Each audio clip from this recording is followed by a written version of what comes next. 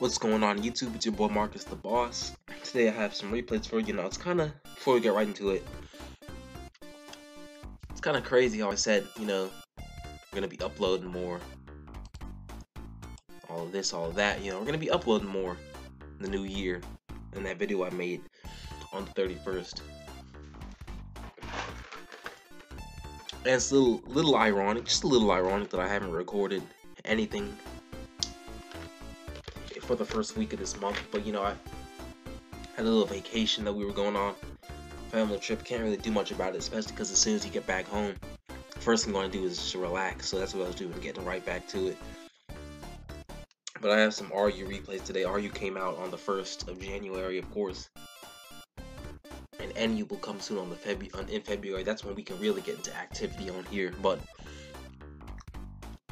I just made the same Trick Room team from last time, except instead of Claydol, who somehow didn't drop, instead of him, I have Solrock with Trick Room, Stealth Rock, Explosion, and Rock Blast. So basically, same set, except I had, you know, Trick Room, Stealth Rock, Explosion are the main moves there.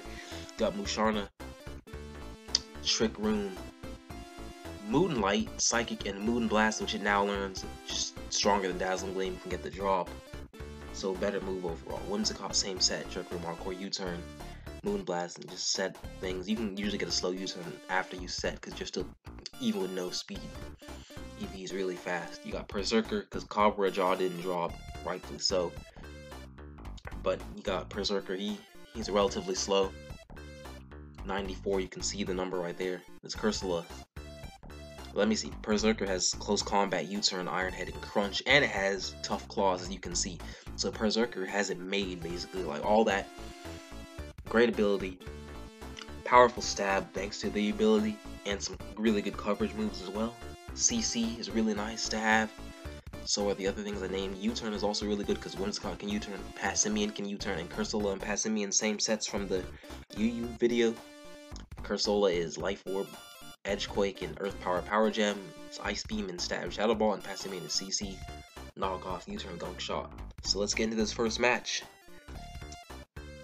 You got Basculin, Slurpuff, Malamar, Stunfisk, Galar, Octillery. Stunfisk is kind of ass. I'd say it right now. Stunfisk kind of kind of sucks. It's a like Stunfisk is not. I used it in my in-game team actually, which is Trade Rock. I I have Explosion, Rock Blast, and Trick Room, so I can't really do too much. I actually was just gonna explode because he yawned, and I got him on the Octillery switch, so it works in my favor because Octillery is gonna get hella weakened. I'm gonna go to Whimsicott. Could have went to Passimian to get the U-turn, but we're just gonna get Whimsicott in and get the kill. Get some leftovers. He goes to cross I mean, I, I know he's not gonna OHKO me with anything, and if he sets up, I can just encore him. So, yes, sir, that's gonna be Crustle out of the picture. Whimsicott doing surprisingly big damage here.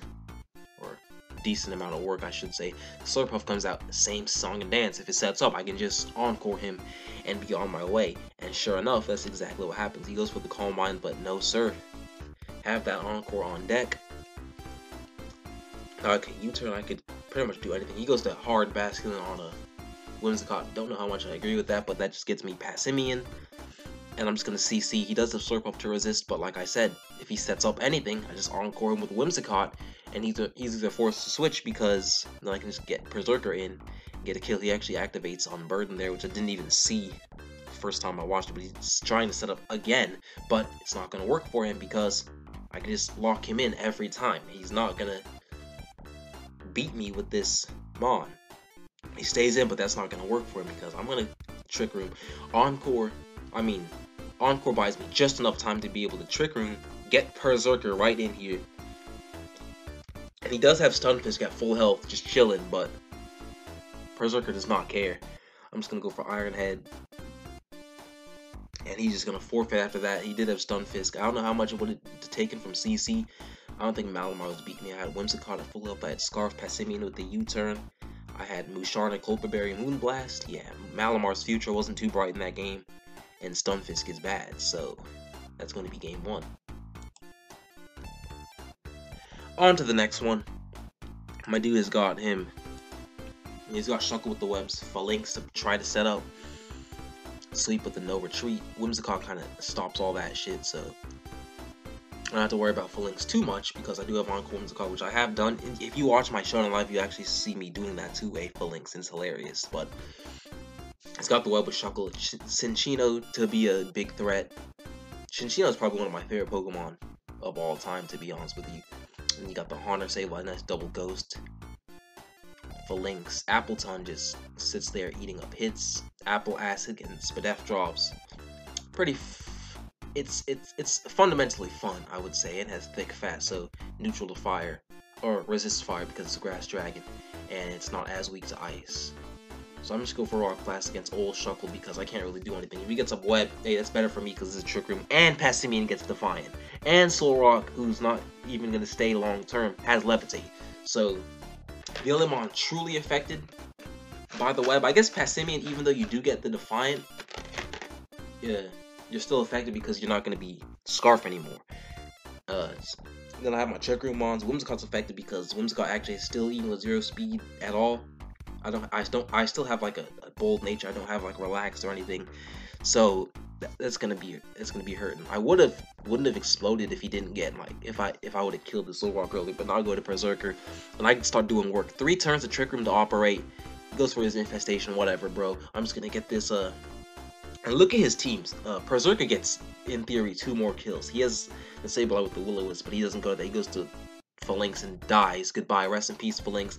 Ironhead did 94, bro. Close Combat is doing 94. That is crazy. Appletun just gets annihilated by U-turn. He's probably not faster than me if the uh, the web isn't up.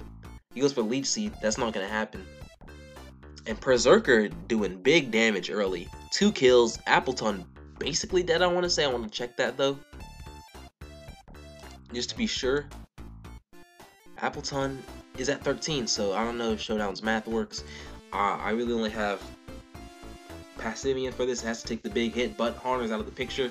Haunter was Eviolite, wasn't living the thing before Define anyway. I don't care if he burns me because look at his team. Cinccino's not going to get past Cursola, Perrserker, Wims. It's, it's not getting past all those. I mean, I love them all, but it's not on that level of strength. I realize I could probably just go Whimsicott on the recover after knocking off apparently a sash. He goes for Shadow Claw. I don't know what he's trying to do with this, but it clearly didn't work because he is out of the picture. So now all he has a Cinccino, but I can just get a Trick Room provided he doesn't kill me here. He goes for Rock Blast, which, I mean, I don't know how to calculate the damage of Tail Slap based off of that. But I feel like I would have barely lived anyway, which actually might have been a little bit better. I go for Moonblast, like, just kill me, bro, because I want to get this, uh, Perrserker in and finish the game. I could get into Cinccino, I could get in Cursola or Musharna, but I haven't revealed them yet, and he doesn't know any move they have, so if we fight him again, he still wouldn't know, which is why I didn't go into either of those.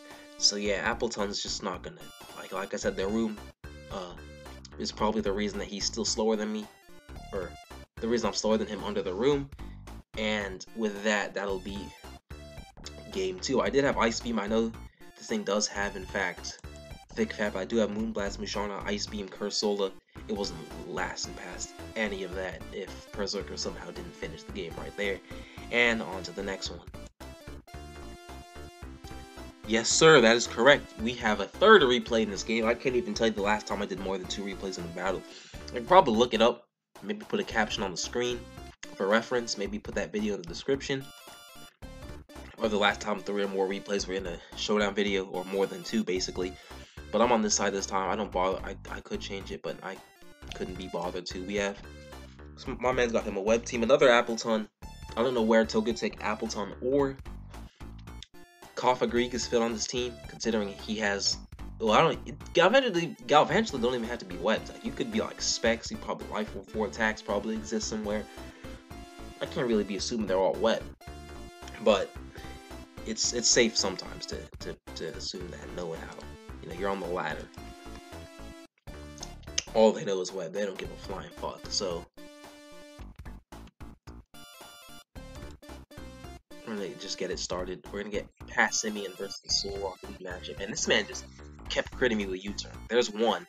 That one doesn't matter as much. I don't really care about that one. I'm not tripping over that. That's whatever. Uh, but yeah, I just get the rock stuff. I choose that. He goes back into Passimian afterwards. I'm like, I'll go to Bouchard. I'll take my psychic. Your resist to this is Mr. Rime.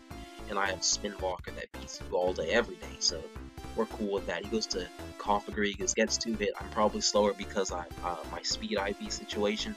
He goes to Mr. Rime anyway. I don't know what I want to Whimsicott. And Whimsicott is still faster than his fast Mr. Rime unless he's Scarf, but he's not Scarf, so I can just U-turn into Cursola, I get the spin block. Which is perfect. I go for, I think, Power Gem because he had Togetic, and that was like the only thing that reasonable that, that would switch in there. I go to Perrserker on predicting a roost, but he actually goes for protect. That works. He goes to Appletun, which gets lit up by Iron Head, and this works perfectly because Togetic is dead to rock. I have Cursola all day to block spin, so I'm not worried about that. I also have Passimian to kind of ruin him. He has heavy duty boost though, so yeah, gotta worry about that. I decided just to take the kill here. Um, because if he goes to like Passimian or to Toki takes dead to rocks, and I can knock Passimian's item off and get utility at knocking his item off. I knock off a Scarf Gap match, so I don't know why you Giga Drain, considering nothing on my team is weak to that move. I don't know, electric type move like a Volt Switch maybe seemed like a better play. He goes to uh, his own Passimian. It's for the CC. I'm kind of torn on what the play here is. I don't remember what I do. I think I U-turn. I actually Moonblast. I get the drop on Mr. Mime, who is, like I said, heavy duty boots. I'm just gonna U-turn now. Just keep chipping this Mr. Mime. So now he's in range of Passimian. He goes for Slack Off, so he's not in range anymore, but he can't spin. He's not Psyshock. Which still wouldn't have done much because of the drop, but Cursola, proving it's worth there, getting the kill. He goes to Passimian. Oh, I'm just gonna let him kill me because Toad takes dead to rocks, so yeah, and I got the Perish body, so the game's practically over because he, he, if he switches like Passimian can't lock himself into any one move. I realize I probably should have gone to Whimsicott first to get the room up, but it doesn't even matter because he's not gonna try even like stay and play around it like I predicted he would. Just forfeits, and that will be game three. No sir. You're not hallucinating. It's not a dream. It's not an alternate universe. Marka 5 the Ball 5 actually has a showdown replay video with more than with four replays in it. Probably the first time in a long time. I did talk about like when about linking the video. That'll be the first replay with the first replay video with three, re not the first, but the last, the most recent video. I can't speak right now. Hold on. I did say I would look for and link the last video with three plus replays on it in the description. That is still true. So we will do that, but let's get into the fourth replay. We got Galvantula, potentially Web on this team given Lunatone and Klinklang. Those could be good offensive users of it. Eldegoss can spin, Runerigus, that's a nice little... It's a small core, I mean, matchup against Ice or Flying isn't phenomenal, but Klinklang does have the Steel typing, and Lunatone and Klinklang can kind of offensively cover those types being offensive checks to those kind of mons. Sigilyph is a broken AF. You either outspeed it or you lose, basically. But I do have Trick Room, so Musharna can take hits from Sigilyph all day. Perrserker has Crunch under Trick Room, Tough Claws boosted, and Stab Iron Head will do a number as well. And Cursola, Shadow Ball, and even its coverage and Ice Beam and Power Gem. And then Scarf Passimian for when the room is not up. That's basically the gist of it. Let's get this fourth replay going. We get a Galvantula versus Solrock lead matchup because I lead Solrock all the time without thinking about it, without hesitating. Uh, he goes hard Lunatone on my Solrock, so we got a Sun Moon matchup here. I wanted to Trick Room. I was thinking about it, but I decided to just get the Rock Blast. It was the right play because he would have killed me with Shadow Ball. Only get two hits, but damage is damage, right? I go to Passimian for the U-turn. Runerigus is just an all-around phenomenal play there because, like, I guess the best move I could have done to him was knock off, but I was gonna use. I probably should have set up a room here, but I what I ended up doing was, because if I set up room, I could just want Cursola to spin block, but instead I just moon blast. I probably should have got the room there. But I'm just gonna U-turn. It gets a little bit, it gets a little more chip damage because I would have had to hard switch because he would have been faster than me because of the room. But we get Cursola and he goes for Stone Square because he doesn't care about actually playing around the smallest periods. Shadow Ball gets a kill though. Look at his team and look at Cursola. And Cursola just goes on a rampage. I didn't actually know this, but um Eldegoss doesn't actually get Strength Sap, so now he's not going to be a Shadow Ball range after another Giga Drain, so I had to Ice Beam there just to get the kill, secure it, because I didn't know. I guess Lunatone Psyshock would probably be his best play because he is going to end up being a Spec Lunatone, but he goes to Galvantula and just drops there. I go Shadow Ball probably would have killed, but I just wanted to ensure that he died.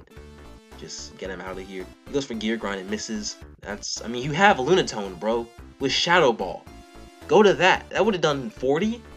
Now he goes to, he's going to everything but the Lunatone to just get the kill. He's trying way too hard to set up on that. I doubt that crit mattered because of how strong Cursola is.